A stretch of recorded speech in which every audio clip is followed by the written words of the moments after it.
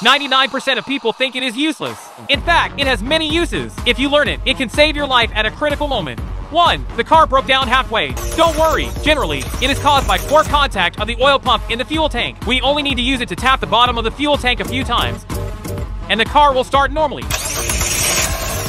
3. If there is no response when starting the car, don't rush to call a tow truck. Don't waste your money. In fact, it is caused by the poor contact of the starter motor at the front of the car. Let's use it to hit the starter motor a few times, and the car will start smoothly.